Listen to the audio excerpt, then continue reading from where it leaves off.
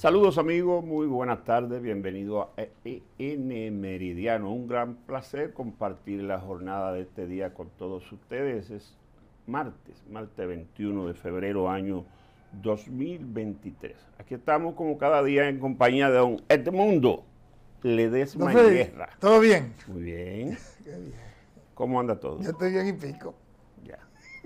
Mire, mu- muchas actividades en lo que es el día noticioso.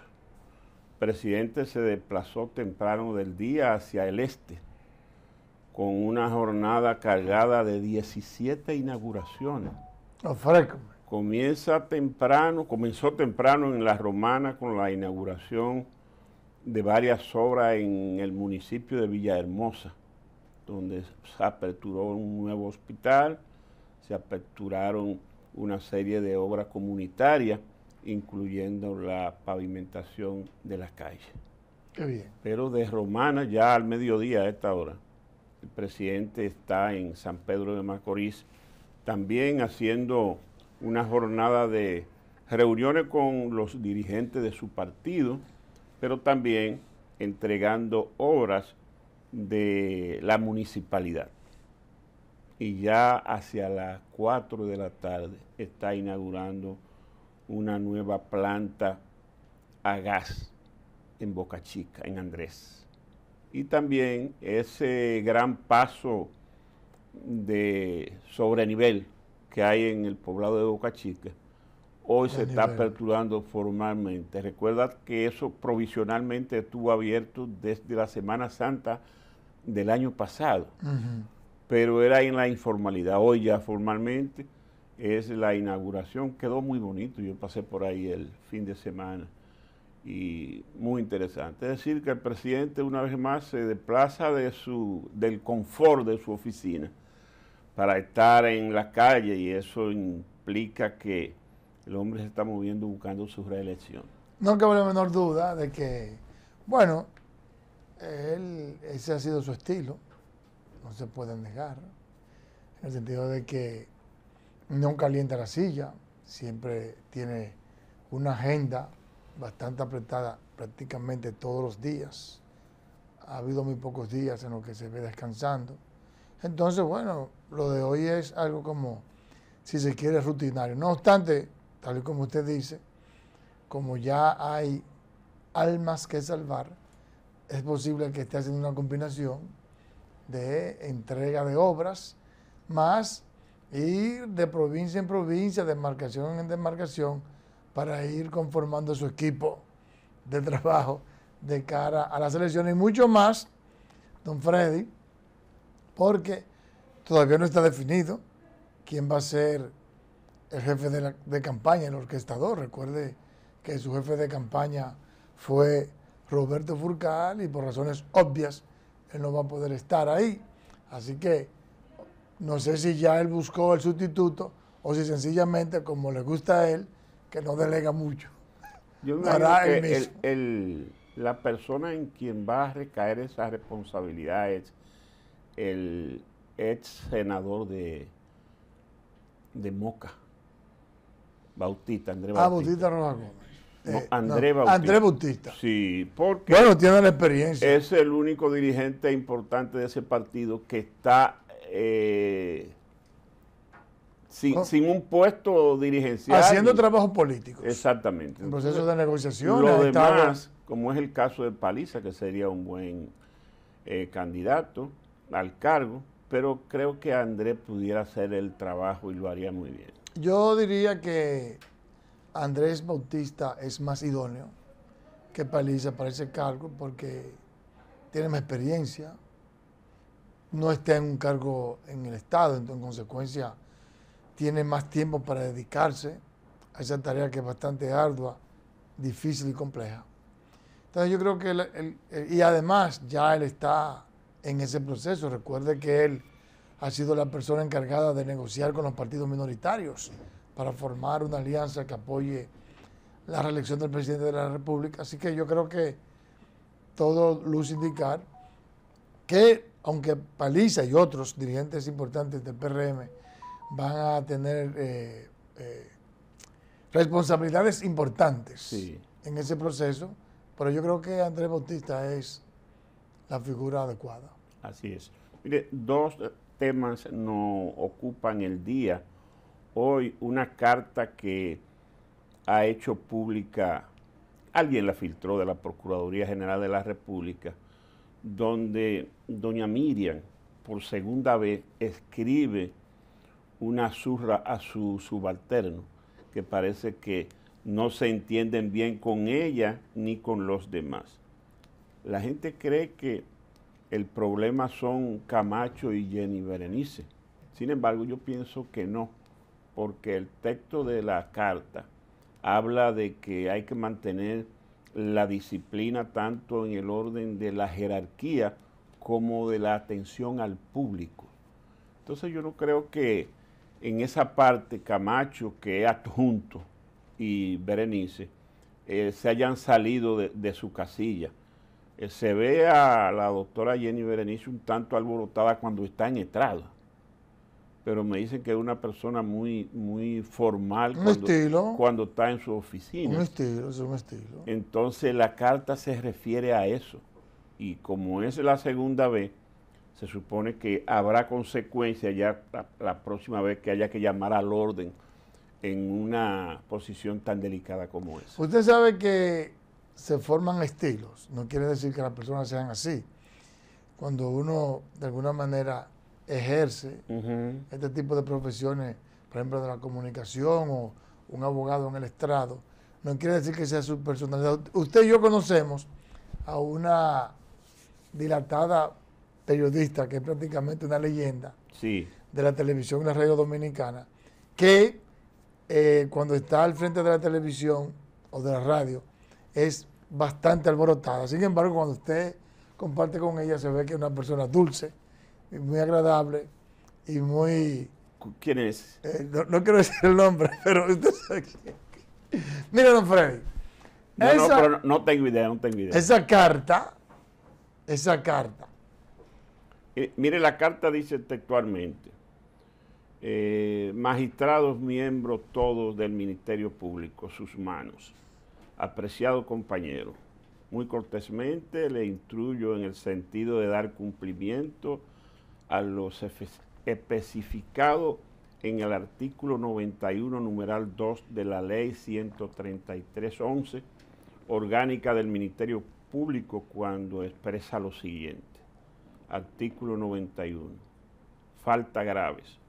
Son faltas graves que dan lugar a suspensión de 30 hasta 90 días sin disfrute de sueldo. Lo siguiente tratar reiteradamente de forma irrespetuosa, agresiva, desconsiderada u ofensiva a los superiores jerárquicos, a los subalternos y al público. Por eso, cuando se habla de la jerarquía, uno piensa en Camacho o en Jenny, pero también se refiere al público, o sea, a la atención a, a quien va a buscar servicio a esa institución. Y como es la segunda vez que la magistrada se toma el tiempo de escribir esto para que quede constancia de que hay una amonestación pública, porque eso no deja de ser más que una amonestación pública. Entonces, eh, vamos a ver por dónde rompe la soga el próximo paso. Primer dato. Sí. No se filtró, la filtraron. A propósito, como en otras ocasiones se ha tratado especialmente cuando se sabe que viene un caso importante de corrupción que va, se vaya a gestionar y que va a salir a luz pública. Siempre se trata de crear un ambiente como de que hay discordia entre Jenny Berenice Reynoso, Camacho y la procuradora. Esa no es la primera vez que se hace ese intento. Segundo, bueno, la procuradora no hizo carrera como fiscal en el Ministerio Público, hizo carrera en la justicia. Como jueza, sí. Como jueza. Eso quiere decir que tienen visiones diferentes de cómo se, manejan los asuntos. El Ministerio Público, eh, de por sí el Ministerio Público. tiene que ejercer una labor con políticos, tiene que manejar el tema de la prensa.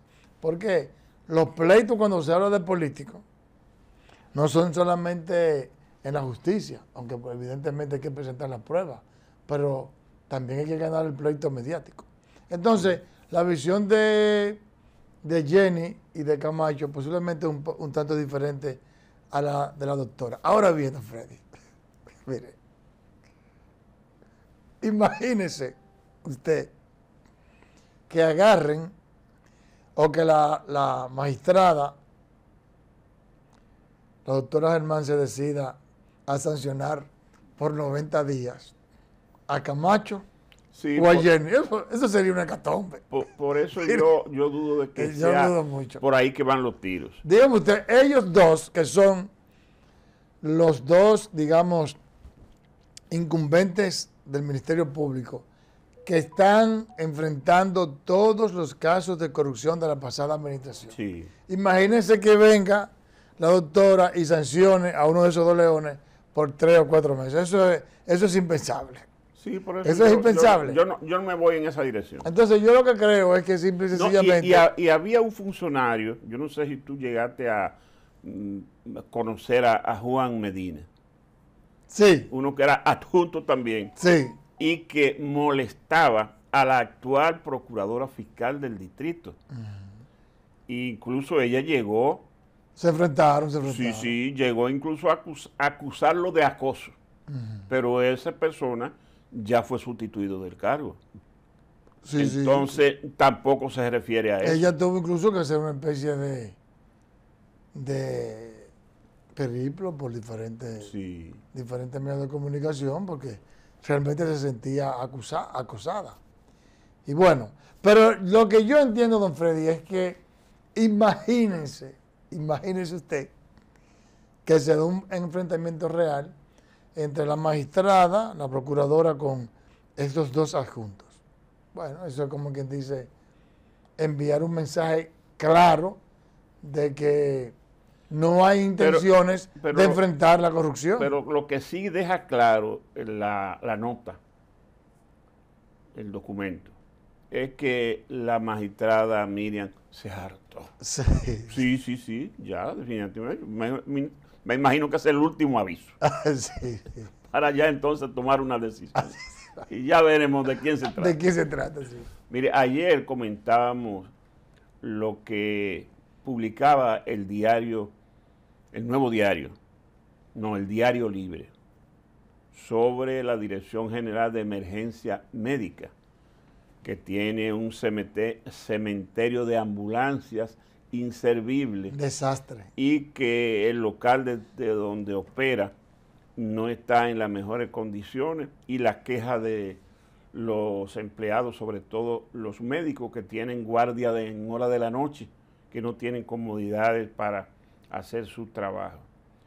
Bueno, pues el general Méndez, que es el encargado de ese departamento de forma provisional, porque él sigue siendo el director del Centro de Operaciones de Emergencia, fue y visitó el periódico Diario Libre y ahí le participó a la directora Inés Pum, que ciertamente lo denunciado se corresponde con la verdad y que todo obedece a que esa institución estaba en otras manos y el incumbente abandonó el cargo y todavía no se han hecho lo- los cotejos de los fondos para resolver esos problemas.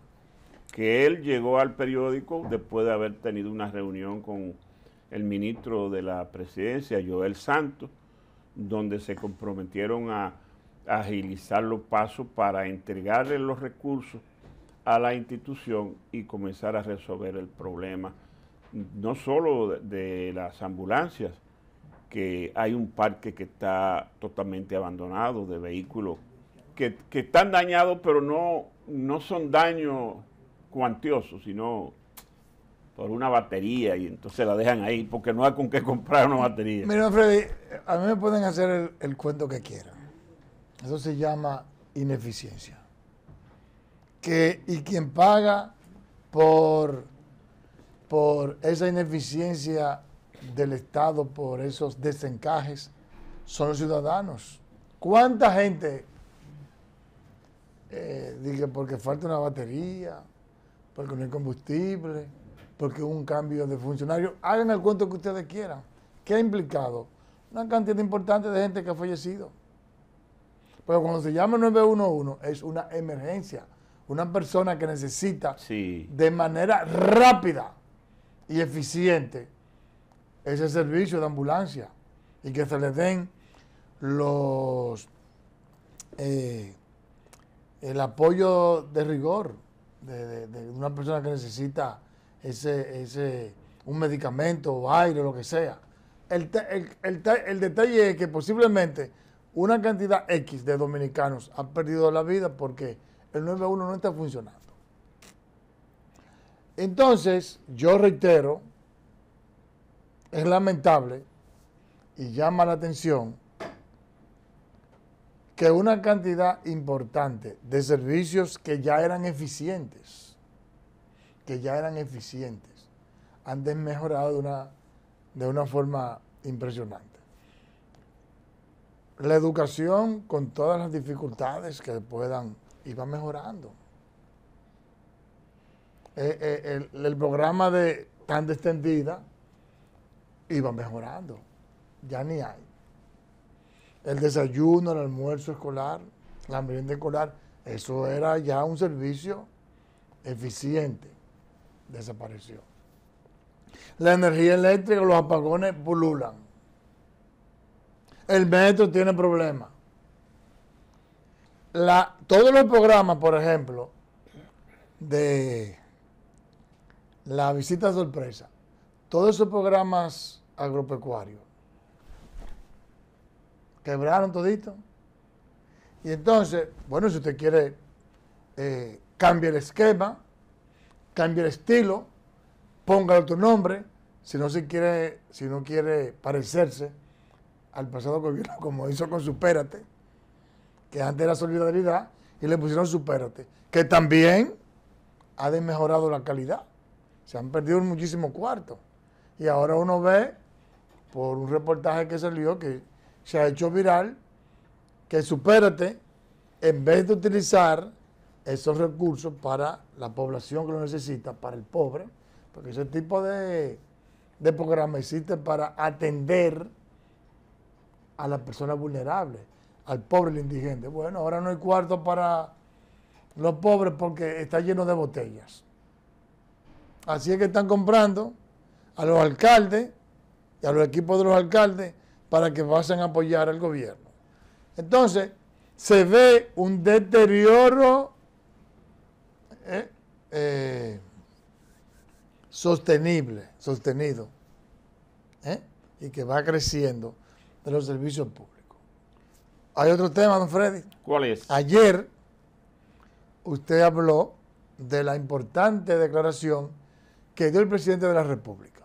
Ah, sobre Montegrande. Sobre Montegrande. Ah, bueno, pero hoy Olmedo Cava, el director del INDRI, desmintió esa declaración que dio, el presidente de la República. No, porque él no puede mentir al presidente. Bueno, el, el presidente dijo que eso iba a estar. En julio y dice que eso no va a estar en julio, que eso está como dentro de año y medio. Entonces, ¿a quién le creo? O el presidente de la República o él está hablando mentira. Él dijo, eso no va a estar para... Dentro, no, él no lo dijo así. Le preguntaron, él dijo, no, Montegrande estará funcionando, si todo va bien, como dentro de un año, año y medio. Y entonces. Mire, realmente él podrá tener parte de la razón, pero no toda. es muy valiente de mentir a un presidente, siendo usted un. Bueno, no lo desmintió. yo le pregunté, porque yo me encontré con él ayer, y le dije: Mira, eso va a estar en julio, como lo anunció el presidente. Sí, en julio los la firma constructora, los brasileños entregan la obra. Entonces ya se puede inaugurar porque entregada ya es una fase terminal. Entonces viene la certificación de la obra de parte de una firma norteamericana que tiene que medir las precisiones de la compuerta, etcétera, etcétera, Y luego viene el llenado de los embalses de la presa, que tarda como, como mínimo seis meses si hay un buen periodo de lluvia. Pero lo de Julio... No, pero eso firma. Eso es firma. ¿Qué es lo que usted me está hablando a mí? Mire, eh, mire, una presa sirve de algo cuando usted puede producir energía. Cuando usted puede dotar de agua potable a la gente. Cuando usted puede eh, eh, irrigar, las tierras. Si no, eso es una, una piscina mal hecha. Lo que es eso. Es decir, no es verdad que eso se va a entregar. Por eso le digo, él tiene razón, pero no mucha. pero lo del presidente, eso tiene que cumplirse. Por lo menos termina, entregada la obra de parte de los ingenieros, se puede eh, inaugurar. Entonces se pasa a una segunda fase, que es la de habilitar. bueno, me imagino que para enseñar que hizo algo. para decir que hizo algo. Mire, eh, Mundo, la nota más importante y hasta eh, caricaturesca que trae la prensa tradicional hoy es la que da cuenta de una nota que ha enviado la Junta Central Electoral, de que ya no son 27 los partidos aprobados, sino 35. Y que hay cuatro que están en pendiente de entregar alguna documentación para formalizarlos, o sea que son 39. Pero que la lista de los partidos que han solicitado su formalización se eleva a 103. Aparte de estos 39 que estamos hablando, que son los que operan en el sistema y los que van a lidiar en el proceso que ya ha comenzado para las municipales de febrero y las presidenciales de mayo. ¿A qué le llaman eso de que democracia? Eso no es democracia nada. Eso es ser avivato. Aquí hay tres formas de hacerse dinero rápido, Freddy. Tres. Aquí nadie trabajando decentemente se hace dinero. Se, se pasa la vida cogiendo lucha y ya sabe que va a recibir una pensioncita que no le va a dar ni para coger, ni para tirarse del puente. Para coger un taxi y tirarse del puente. Tres formas hay. Si usted nació con la habilidad que le dotó el Señor de ser un gran atleta, bueno, pelotero. Aquí los peloteros se hacen bien. La otra forma es una manera ilícita, vendiendo droga, aunque te mueres rápido, pero te hace de acuerdo rápido. Y la tercera es siendo político. Eso que, esos 103, 103 que están pendientes, sí. Ninguno sabe hablar de nada, ni sabe de nada. Es un avivato habilidoso, hace su partido político, ahorita la Junta eh, habla con dos o tres y le dice, tengo un movimiento aquí, aprueba mi partido, te voy a apoyar, te tengo aquí tres votos. Los mismos políticos del sistema nos ayudan en que la Junta se lo apruebe y le dan unos cuartos. Y ya ese atento a ese partidito, que no sirve para nada, ya te está mencionado temprano.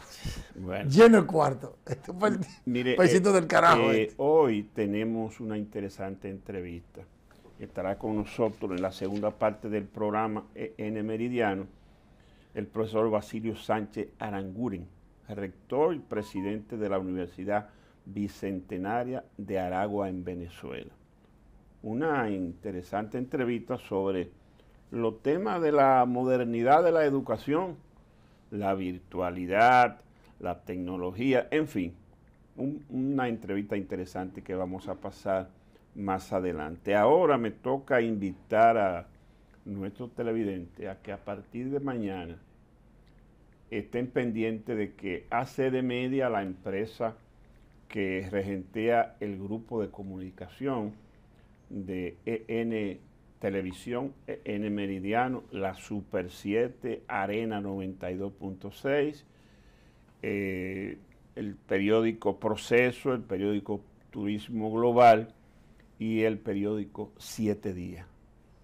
Mañana será la publicación oficial de la, la segunda encuesta de medición del ambiente político en República Dominicana.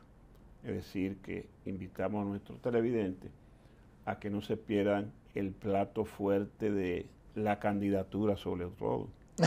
Dentro de la encuesta hay particularidades, como es el caso de una medición particular en el Gran Santo Domingo y otra en Santiago, que son las dos plazas mayores poderosas de, lo, de los de lo que es el ambiente electoral.